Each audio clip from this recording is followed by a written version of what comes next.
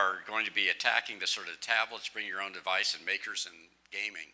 And uh, it may seem like we're sort of diverse in what we're doing, but you'll see in our conversation that we're really in the same space. The way we'll make this quick, I'm John Ittelson. I was at this morning. I'm still at this afternoon. If you want more details, you can look in the program.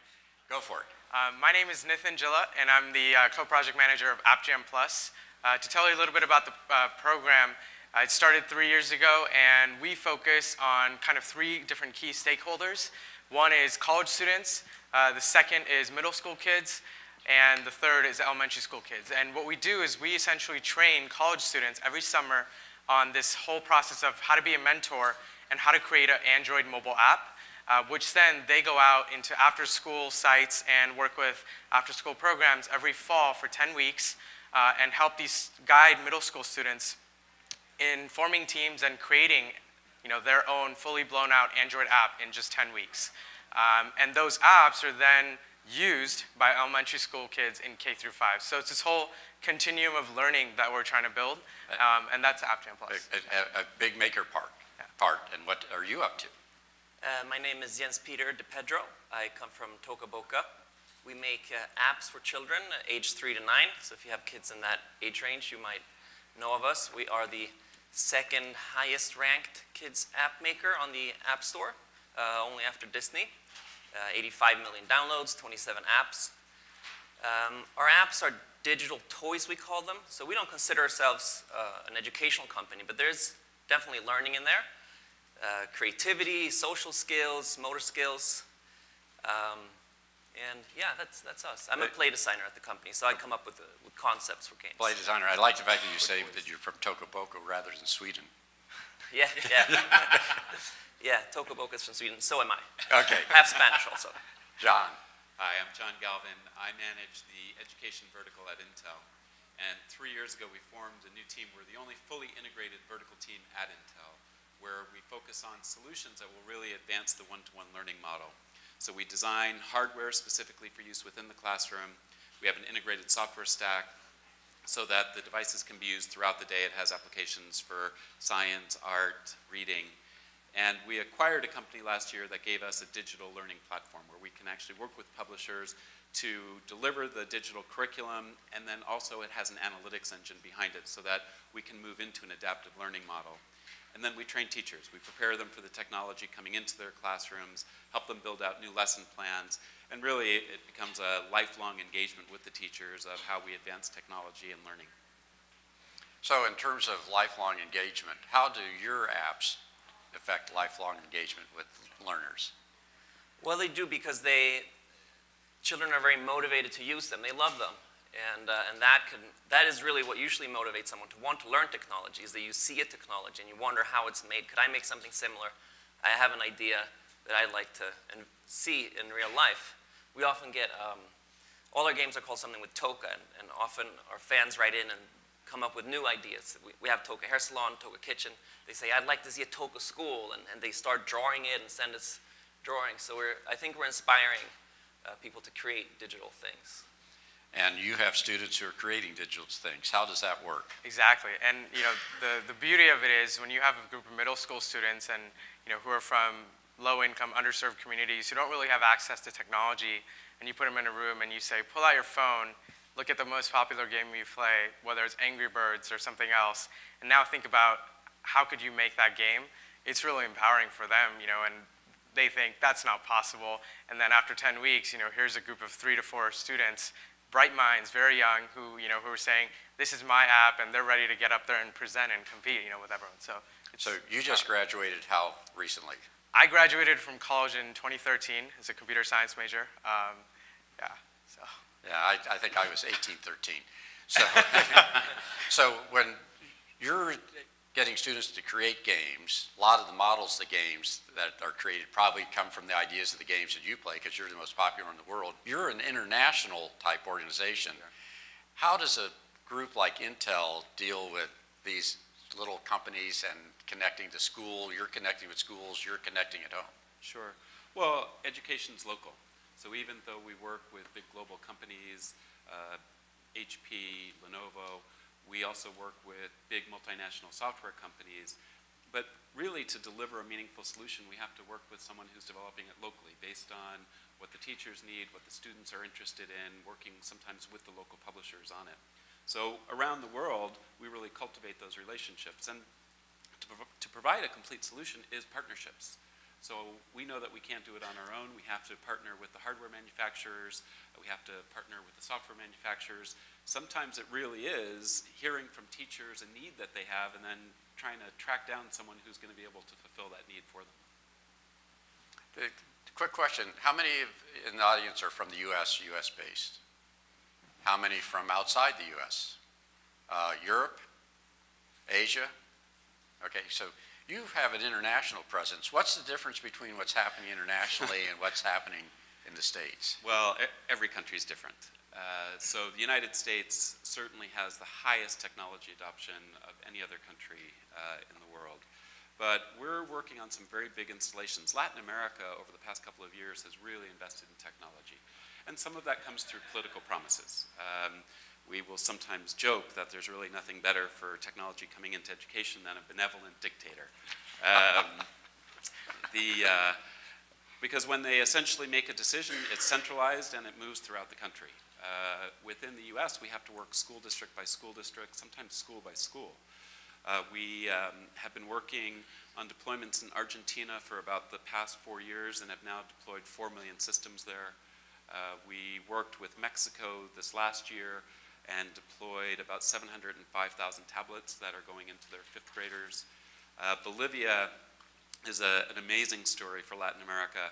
They were really lagging a little bit behind some of their neighbors uh, and had put together a deal with, the Venez- with Venezuela as well as Cuba to do some exchanges to bring up their literacy rate. And their president, uh, in running for his third term, uh, made a promise to be able to put computers into the hands of every high school student in Bolivia. And we were there a couple of months ago when they uh, shipped out the first 230,000 systems. That in itself really isn't the significant part. Those 230,000 systems were manufactured in Bolivia. Uh, so they essentially went from nowhere to now making systems for education. We toured a factory that's under construction right now. Uh, we like to think of the systems we design for education as purpose-built for education. Uh, this is a purpose-built factory for education. Uh, they'll manufacture all of the computers that will go into high school students. That's 4 million systems over four years. And they'll have software programmers there. They're going to start developing their own education software. Uh, they'll have their support desk there uh, to essentially do remote IT for the schools. So really a, an amazing story of essentially going to, I wouldn't say nowhere, but lagging. Uh, four years from now, we will hold them up as a lighthouse example of a country who really got it right. Um, and already they're seeing incredible results. Um, higher retention rates for their students. And we were there again when some of the students received their PCs for the first time. Incredible enthusiasm. Um, as a matter of fact, a little bit re of regret that they were graduating seniors um, and uh, that they didn't have the systems throughout their entire high school period of time. So amazing things really happening around the world. In the academic community of universities, we call the benevolent dictator the provost. Yeah. Um, Are most of your games sold in the US or? The US is about half of our market, um, but our games don't have any language in them. So we can sell to any child really, or we can, any child could use them around the world. And we've sold uh, or apps in about 160 countries, some that we've never set our foot in, which is, which is amazing. But we do see that there's some markets that have local cultures. Japan is a huge app market, but we don't have a big presence there. So even though we have a big um, distribution of apps, it, it, there's spots that are still white on the map, sort of. So uh, you're a UC, a CSU, California State University graduate, right? I am. So cheers for the CSU, but you're a UC graduate, right? I'm right? a UC graduate. So how are you involved in the computer science program with the social conscience that your program has? Yeah, so uh, computer science at UCI was very uh, enlightening, and I, you know, I, I, for me, I, I love computer science because it's all about problem solving. Uh, it gives me a perspective on how to look at solving different problems. Um, and you know, looking at the social side of computer science, being there now on the education side, it's somewhere I didn't really imagine to be. Um, but you know, it's, there's a great need for it. There's a great need for programs on uh, young folks to really reach out to their communities and help kind of evangelize and spread word of STEM technology and STEM education and careers. Um, and I think, you know, it's, it's, it's interesting work. So how do you get the college students and the high school students and the middle school students on the same page? So yeah, well, we train the college students first. Um, they learn how to be a mentor, uh, which is really key as we've found through the program. Um, some of these mentors still stay in touch with the students and they mentor them throughout you know, the, the past year. Um, I myself, I actually taught my first year as a teacher um, because you know, I figured the best way to learn how this program is going to work is to actually teach it and have a team. Um, so after kind of training, mentors make a commitment uh, to go twice a week after school and train these students for a two-hour class. Uh, and really, that's, that's where all the interaction, kind of the magic happens. Uh, and I like to say our mentors really enjoy being around you know, kids because these are students that they have no kind of limits. And when they think of this idea, you know, they'll, they'll come up with a crazy idea and you can't say no to them because you don't even know if, you know, if it's possible or not. So you just have to say, go with it, and you kind of follow with them. Um, so I think it's this culture that has sustained with mentors and, uh, and students, and you know, students enjoy it because, you know, in Orange County, we're a thriving community, but there are a lot of communities around where students don't have access to technology, and those are really the students that we target um, who get these experiences, and it can be life-changing for them. So what are the demographics of your clientele?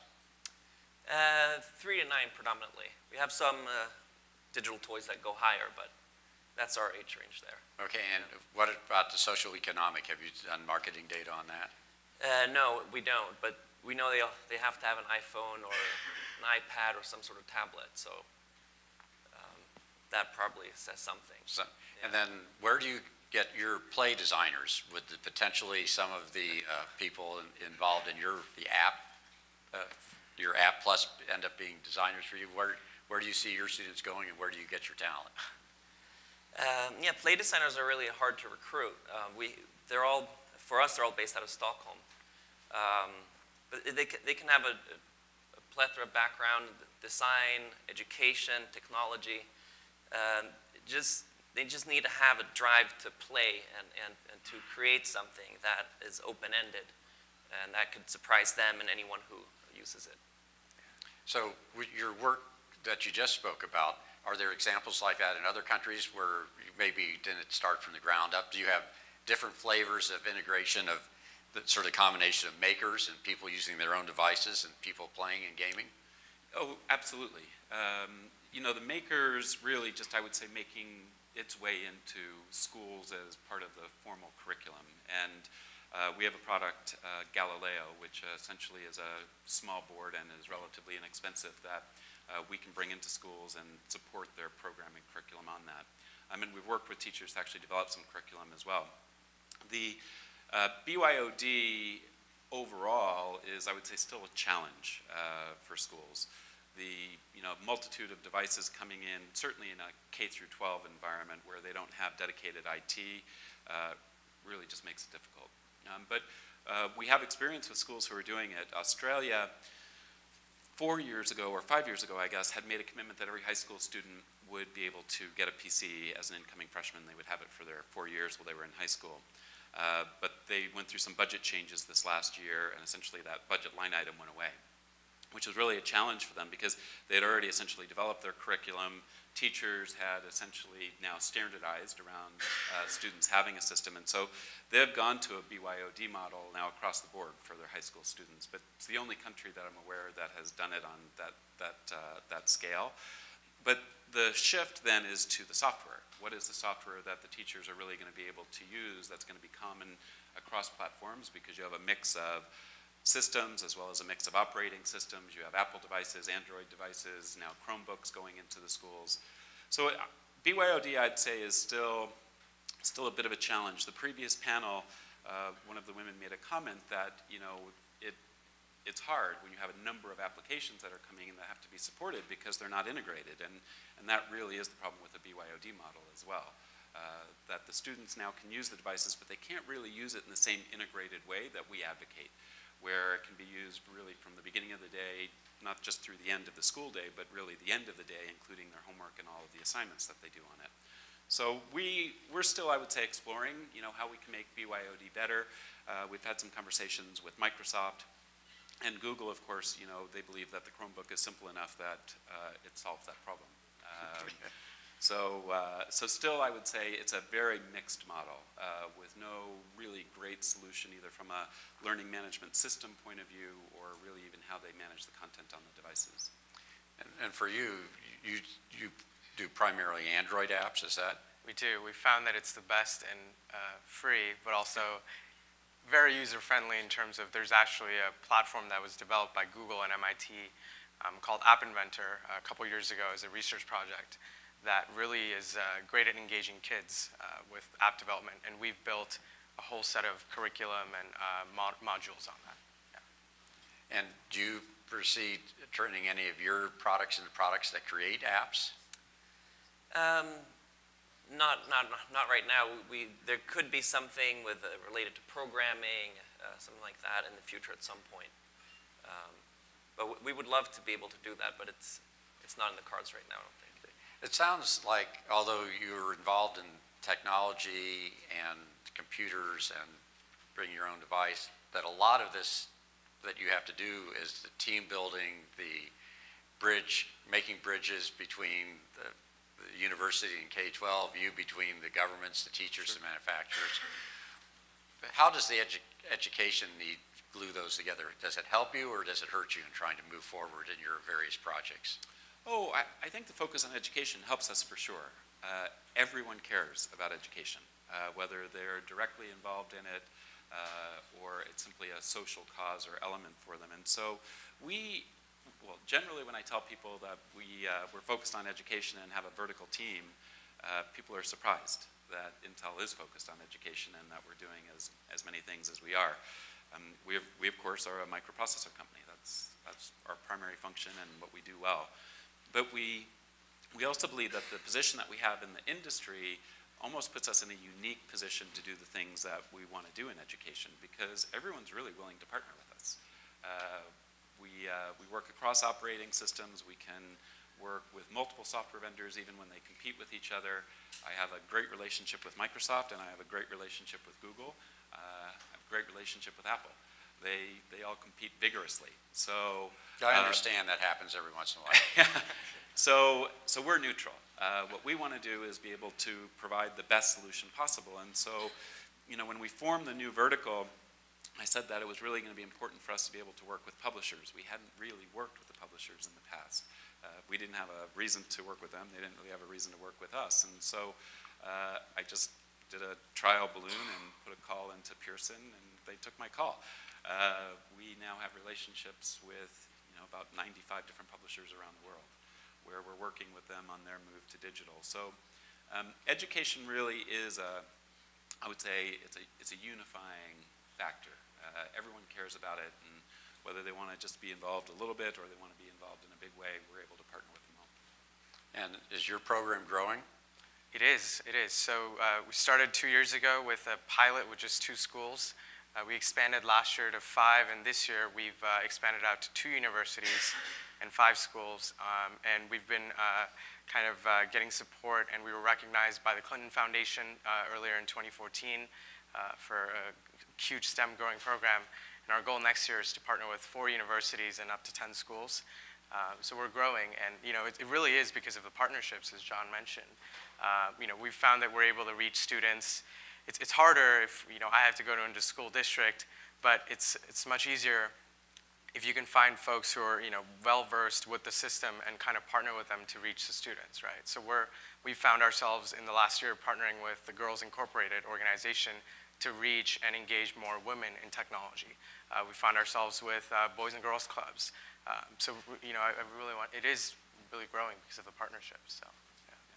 Okay, I want to open up for questions. We have one right there in the front. Okay, actually, I can I ask one question? So, Jens, I, something I wanted to ask you was, um, as you mentioned before, Toca Boca really is an education company. Um, you're more of a play company, right? Yeah. yeah. So, um, do you see more of the toy and the, that whole industry moving more towards education with the use of, of technology? Or do you, you know, or is that kind of still separate? It's a, a toy, you know, it's a play, it's not really education. How do you see that changing, if at all? Yeah, I see that a, a little bit, especially with, uh, with Minecraft. Uh, teachers know that it's so engaging to a lot of their students and they bring it in and it was never meant to be an educational tool. And I'd like to see that a lot more happening because what really, what children learn the most from is what interests them. I, I read a study, the results from it, that said that children understood, it was 30 times more uh, of an explanation to why, how much children understood a text. Um, the explanation could be, or there was a higher correlation between, third times higher correlation between un, um, if the child was interested in the text, then how complicated the text was to read, right? So if you're really interested in something, which you are if, if, it's, if it's a toy, right, it's made to really capture you, um, you can learn so much more than if you bring something in that's been sort of forced on you. And yeah, you, you're just not going to take it in, even if it has all the content that, that you want the child to, uh, to be able to grasp. I see, yeah. So that makes sense. And one other question. So, Jens, when you go to toy conferences and you're involved in that, do you see more discussion around STEM or some of the new Common Core in science, you know, that whole discussion? There's not Common Core for science, is there? It's STEM. So, you know, is there uh, more discussion around that in the toy industry? Definitely STEM, you start to hear it. Um, there's, it's not huge, but at every, every time you go, you hear it, someone has made a, something that teaches science or math or, yeah. Hi, good afternoon. Um, I'm Dr. Nina Kraft. I'm with CharityPartnering.com, and this, mess, this question is for John.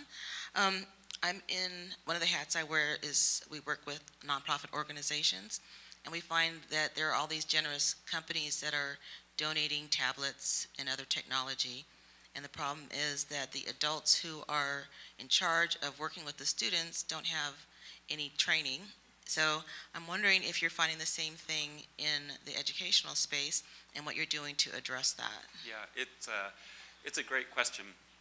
The, I would say the biggest impediment to um, really scaling technology in education is the teachers and teacher readiness. They, um, there's first of all a fear that the technology is going to disrupt the class. And then the second fear is that they're not going to know how to use the technology and that the students potentially are going to know how to use it better than they will. So we uh, developed some professional development for teachers really now about 10 years ago and we continue to um, advance that. So we've now trained about 11 million teachers around the world on how to use technology within their classrooms. We are starting to work much more closely with Microsoft. Microsoft has a similar program to ours, and we're essentially comparing roadmaps so that they're complementary to each other and that we can essentially advance uh, much faster. But it, it is a big challenge for sure. And, um, you know, over time it'll get easier without question. Uh, but even younger teachers, when they're being trained, if they're not trained how to use technology uh, within their classrooms, they're somewhat reluctant too, even though they might be more comfortable with the technology. Uh, it's, it started off only as face-to-face, now it is blended. But I think the teacher preparation is a major challenge. That's an area where we are in California, is that Oh, yeah. schools of education, um, we only put out 10% of the teachers that shift every year, and so you've got 90% of them that may not have had the training. Right. And most of the schools of ed really do not have a rich set of of guidelines and models or courses around technology integration. Right. So you're probably doing more teaching these people through Yeah. your, your uh, app project where the students are sort of feeding it up, up the channel. And, and that was, just to add on, that was one of our challenges was, you know, we approached it as, how do we go train the teacher so they can train the student?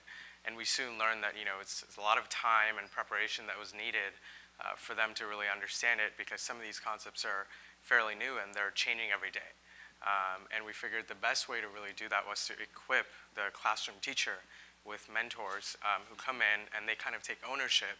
And we found from that is some of the teachers are really engaged and they're learning more from having the mentors teach um, and they're able to, you know, get better at it every year as well. So, I think that's a lot where we could learn a lot from the, play designer, because I haven't seen too many people go to a Minecraft professional development workshop.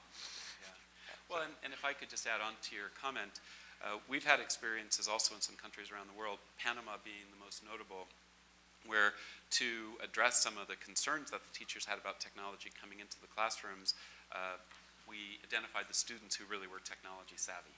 And essentially, they went through a week of training uh, before all the systems arrived at the school. They were given special shirts to wear uh, so that when other students or even the teachers were having problems, you know, they were the designated person that would come and help resolve the problem. Okay, uh, other question in the audience? Um, I do want to just plug something, if I might. Um, Okay. Nina and I also work together with the Kay Family Foundation out of California, which offers uh, two scholarships to students who are um, creating apps. It's called the Appreneur Scholar Award. Um, today, we have uh, one college student and one high school student.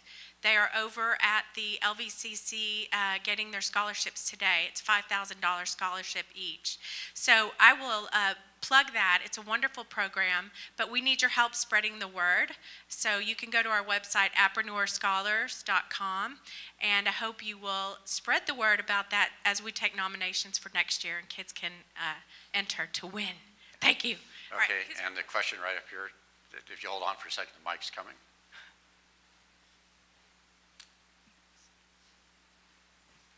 Hi, my name is Kush. Um, I'm in finance and, uh, you know, probably a little bit distant from a lot of the topics here in some ways, but outside of the school system, in many countries, there's a big market for uh, home education or all the education that happens outside of the official school system. And in some countries, the free content that's widely available now on the internet is eroding the traditional paper-based services in a big way. Um, in some cases, that's very good, but in some cases, it's creating a little bit of a chaos.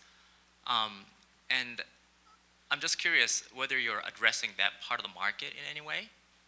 When you work with schools, um, is there a factor that the education outside of the school plays to complement what the teachers do uh, while the kids are at school? Because a lot of the supplementary education happens at, at home as well. And you know, this again, it's a very local topic, so it differs country by country, and also within the same country, different segments would have different aspects in this regard. But, but uh, I'm just curious um, whether you have any insights into that.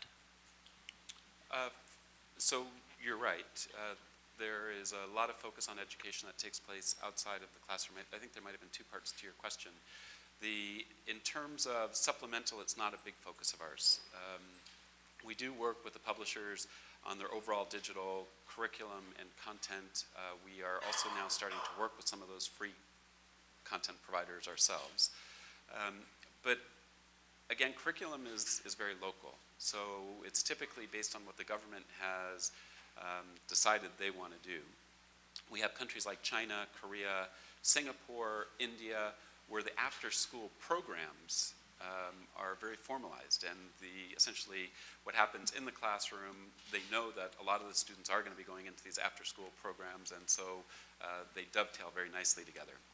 And a lot of the after-school programs really are assessment preparation. So we're now starting to work with some of the companies who run those programs to see if there's some ways that we can help them move more fully to digital because they're actually not very digital in some cases today. Um, in Africa, we, there's a number of countries where uh, the, the belief is that what the students are getting throughout the day really is not sufficient. And so we're really starting to see the rise of more programs that are taking place after school there as well. So I, I think it's an area that is continuing to emerge. It is very local, it's very country-centric. Um, and the publishers uh, are starting to pay a little bit more attention to it, I think, than they. But it- It is an interesting area. We, one question, then we'll be the last one. Could grab that one over there.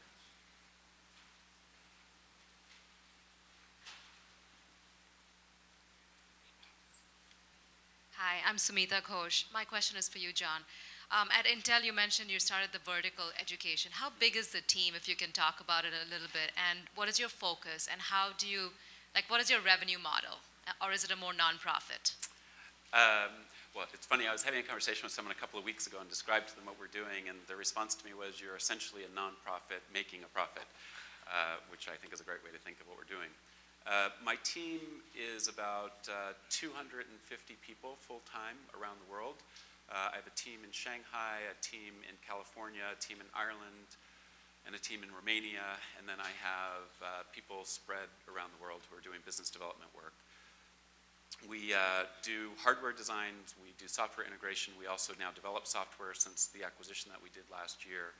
Uh, I have 15 people who just focus on the user experience within the classroom and uh, spend a lot of time in classrooms. We also have our own business development managers that work with the broader Intel sales force. I have a dedicated marketing team, and uh, I have my own technical resources who will typically go in and do consulting early on, or if a school is having problems, they'll go in and consult afterwards. I don't get paid for any of the consulting work that we do. Uh, the way that we get paid is the, there's ideally a hardware platform that goes out with an Intel processor in it. And uh, we are now starting to charge for some of the software uh, that we deliver on the systems. Uh, before, we essentially wrap that into the system cost. Now we're breaking it out as a, essentially a separate line item and uh, we'll beginning, we're beginning to sell software as a service uh, around the content and around the anal analytics. So, you know, today I'm essentially a small division within a large company. 100% uh, of our effort is on education, most of that on K through 12. But we focus on uh, higher ed, and we are starting to do some work in supplemental right now as well. Okay. Thank you. We've reached end of our time, but you have a slightly longer break, and so if you want to catch any of the panels, I'm sure you can catch them before the microphones get off. I want to thank all three of you. Uh, very interesting perspective, different views and different things between bringing your own device, tablets, and gaming, and I'm sure we're going to hear from all three of your projects in the future. Thank you. Thank you, John. Okay, we'll take a break.